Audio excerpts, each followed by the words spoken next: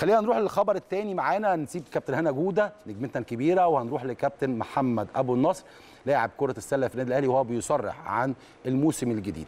النادي الأهلي لعب ثلاث مباريات لعب مع الشمس ولعب مع لعب مع الشمس والطيران ومصر بتقول في منطقة القاهرة. إعداد جيد جدا للمرحلة اللي جاية بإذن الله وهي بطولة دوري المرتبط اللي هتبدأ إن شاء الله يوم 3 10 أكيد هو بيقول إن كابتن أشرف توفيق حرص على الاهتمام جدا بكافة التفاصيل المباريات الودية مع مباريات منطقة القاهرة اللي هم خدوها. ده استعداد جيد جدا للدوري واشار إن هو إن إعداد اللاعبين الموسم الجديد بحاجة مختلفة. عندهم الإصرار والتحدي حاجة مهمة جدا.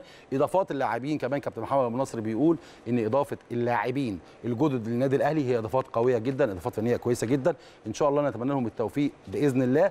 النادي الأهلي هيبدأ المرحلة دوري المرتبط يوم 3 10 هيلعب ثلاث مباريات مع أصحاب الجياد وهيئة قناة السويس وسبورتنج. دوري المرتبط ده إحنا حاملين اللقب كنادي أهلي. إن شاء الله في المرحلة اللي جاية في أربع مجموعات. النادي الأهلي هيقابل المجموعة الأولى هي يعني الدور الأولاني أو المجموعة دي عبارة عن ماتشات ترتيبية فقط لا غير أول تاني تالت رابع. النادي الأهلي هيقابل المجموعة الأولى يصفوا يخشوا دور ال 16 بعد دور ال 16 يلعبوا ماتشين وهكذا لغاية ما يوصلوا لل semi-final أو ال final. كلها عبارة عن خروج المغلوب بماتشات المرتبط. نتمنى بإذن الله تكون بداية قوية جدا. كل جماهير الأهلي مستنياها مستنيين يتفرجوا على فرقة السلة.